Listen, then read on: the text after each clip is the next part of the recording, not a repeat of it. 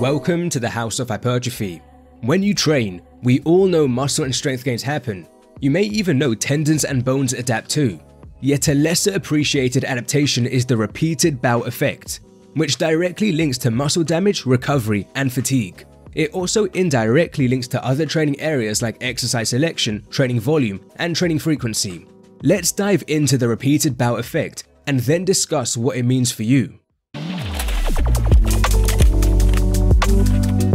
When training intensely when you're unaccustomed to it, significant damage and swelling of the muscle and connective tissue, prolonged decreases in muscle strength, delayed onset muscle soreness, and muscle stiffness happen in the following days after. Chances are you felt this, if you're brand new to training or you've returned to training after a break and your first session is super intense, you'd have experienced substantial soreness and fatigue in the days after. However, when you repeat the training, this time you'll experience lower damage and swelling of muscle and connective tissue, a lower reduction in strength, and lower delayed onset muscle soreness and stiffness in the following days. Why is this? Your body adapts to protect your muscles from damage and speed up your recovery. This is the repeated bout effect. But how much can the repeated bout effect help your recovery in the long term? The best study to date showing the potential power of the RBE is from 2020 out of Greece. The researchers recruited untrained men, which is great since their muscles tend to have the greatest vulnerability to damage. The training was far from what most people typically do. I'll describe it and then detail why this irregular training was a great idea. Subjects trained their quads on an isokinetic dynamometer which applied forces to bend the knee, producing their max effort to resist it, thus loading their quads under eccentric contractions. Eccentric contractions are where the muscle produces force while lengthening. During the concentric contractions, the dynamometer did not resist, allowing them to extend their knee easily, so the training was eccentric only. Every session, they performed 15 of these eccentric only repetitions for 5 sets with 2 minutes of rest between the sets. The training was performed once a week for 10 weeks. Why'd I say this training was a great idea? It would have been seriously damaging. Eccentric contractions are known to produce significant damage. Higher rep numbers, contrary to what may be popular belief, are more damaging. And the fact 5 sets were performed further adds to the damage. Remember subjects also produced their max effort to resist the dynamometer, meaning these eccentric contractions were maximal thus inducing more fatigue than the sub-max eccentric contractions occurring in typical workouts. The fact each rep was max effort also technically means as subjects got stronger, progressive overload naturally took place.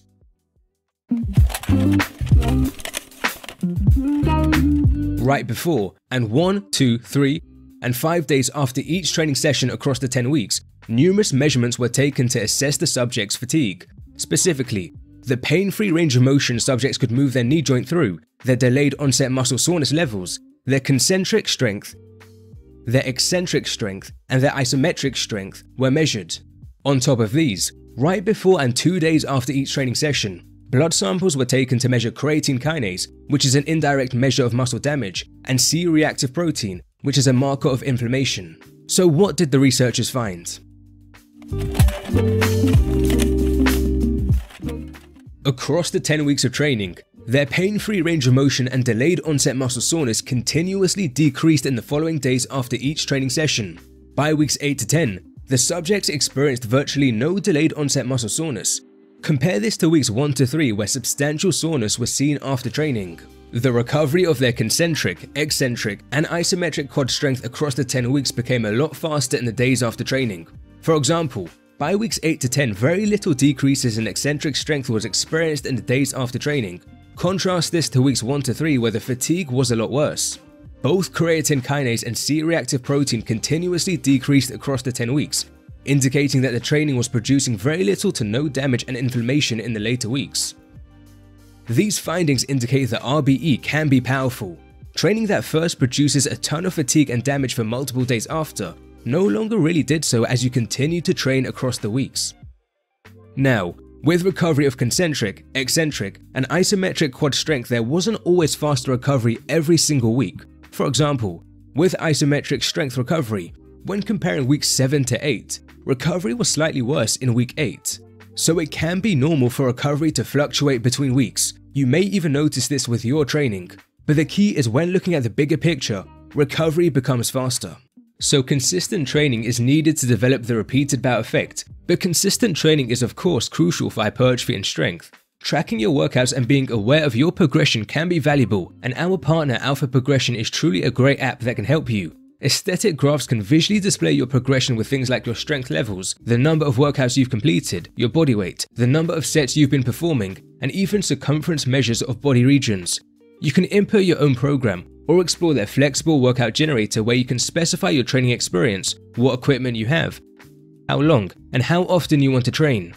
A great thing is the training variables deployed in these workouts are based on meta-analyses and reviews from the scientific literature, plus you can still edit these workouts, allowing you to individualize things. The app also contains a database of over 550 exercises with excellent video and text tutorials behind each. The link in the comments and description gives you 2 weeks free of all the app's features, plus 20% off a subscription if you do go beyond the free trial. At the House of Hypertrophy, we don't just partner up with anyone, so you can rest assured the app is sincerely high quality. Since the RBE lowers soreness and muscle damage, isn't this bad for building muscle? This assumes soreness and damage are strong drivers of hypertrophy, but the research fails to support this. We've analyzed this research in a previous video. Anyway, what could the RBE potentially mean for your training? Exercises training muscles with a stretch are great for hypertrophy, this study by Maeo compared overhead extensions to pushdowns. Overhead extensions stretched the long head of the triceps. Triceps hypertrophy was superior with the overhead extensions. Another Maeo study compared seated to lying leg curls. Seated leg curls stretched the biarticular hamstring muscles more. Hamstrings hypertrophy was superior with the seated leg curls. But exercises training muscles with a stretch can cause quite a bit of muscle damage, which may be unideal if you'd like to train these exercises with more volume or frequency. Yet, the RBE would suggest as time passes, your recovery from stretched exercises should become quicker, allowing you to train them more if you'd like. Another implication of the RBE is high frequency training, where you train a muscle on 5 or more days per week, can be viable. Though initially some people may struggle to recover between sessions, the RBE can change this across time. Indeed, as analysed in our training frequency video, there are studies showing high frequency training to be perfectly fine for building muscle in trained individuals. Likewise, the RBE also makes it possible to handle more training volume over time. Indeed, as analyzed in our video on set numbers, increasing your sets as you progress throughout your training career might be helpful for muscle hypertrophy. Finally, the RBE can make certain recovery worries not an issue. Some people understandably have recovery concerns about training to failure or even past failure, with something like drop sets. Your recovery durations will likely always be longer when you're training to failure or past it, but the RBE may make this not a practical issue. Say you're training three times a week. Initially, you may struggle to recover from performing a few sets to or past failure per session, but with some time the RBE develops and performing a few sets to or past failure may no longer be a recovery concern.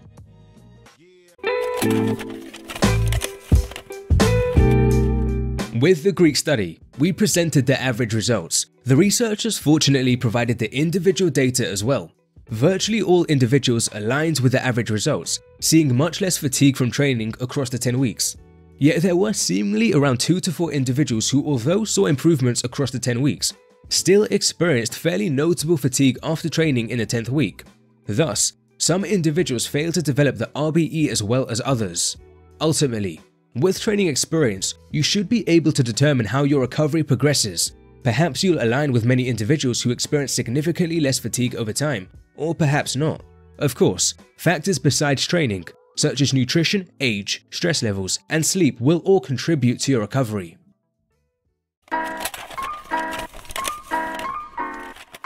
A lesser appreciated training adaptation is the RBE, which significantly decreases the damage and strength loss you see from training intensely over time.